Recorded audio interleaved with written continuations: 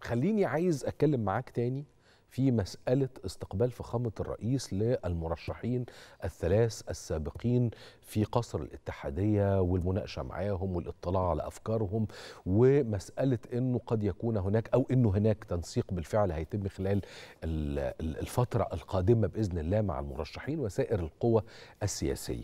دلالة ده أظن إن محتاجين إن إحنا نضع لها تحليل. خليني آخد معانا على التليفون بكل ترحيب دكتور وئام عثمان أستاذ ورئيس قسم العلوم السياسية بجامعة بورسعيد. أهلا بك يا دكتور وئام أهلا بك يا أستاذ يوسف. دكتور وئام يعني دلالة استقبال الرئيس للمرشحين الثلاث في انتخابات رئاسة مصر 2024 آه القيادة السياسية لمصر النهاردة بتعزز مسار الإصلاح السياسي. وإجراء الحياة السياسية بتعددية تهدف إلى استكمال مسيرة البناء والتنمية. آه إذا كان سيادة الرئيس في 26 إبريل في إطار الأسرة أعلن ضرورة إقامة الحوار الوطني وفي 16 أغسطس 2023 يستقبل توصيات الحوار الوطني وفي أول ديسمبر 2023 نمارس ديمقراطية تشاركية. فاستقبال الرئيس النهارده ل يعني المرشحين والمنافسين فده إعلان على تعاون التعددية نحو استكمال المسيرة التنموية. من خلال تنمية سياسية تسطرها الدولة المصرية بل بتدفع بها بنموذج عالمي جديد إلى ديمقراطية نابعة من متطلبات الشعب أو الشعوب زي ما إحنا بنقول.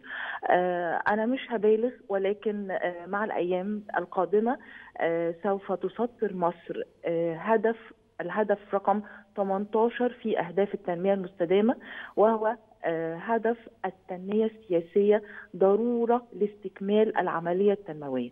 وهذا الهدف سوف يكون ايقونه رقم 18 لأهداف الأمم المتحدة. لأن وسط هذا الزخم وهذه الإرادة الشعبية والتعددية السياسية المستنيرة تستكمل مصر مشوارها لبناء التنمية وبناء الإنسان المصري في جمهوريتها الجديدة. طب دكتور وئام هذا مشهد بالنسبة لنا في مصر غير معتاد يعني مشهد استقبال رئيس الجمهورية أو المرشح الفائز للمرشحين الآخرين مشهد غير معتاد.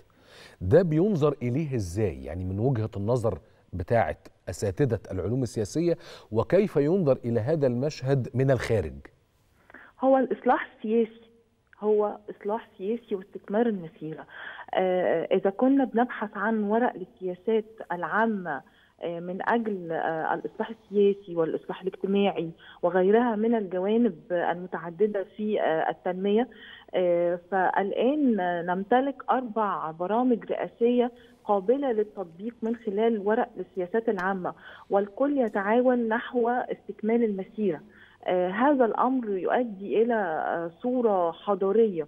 آه بل والأكثر من ذلك هي صورة لديمقراطية نابعة من الشعب المصري وليست مستوردة من الغرب.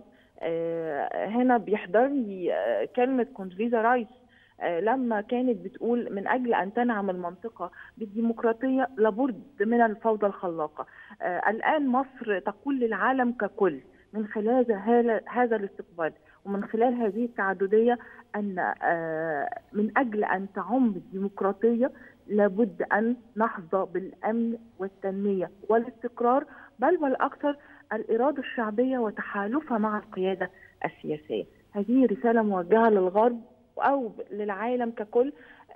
نحن نسطر إلى نموذج ديمقراطي مصري 100% عظيم جدا. أنا بشكرك جدا دكتور وئام عثمان أستاذ ورئيس قسم العلوم السياسية بجامعة بورسعيد.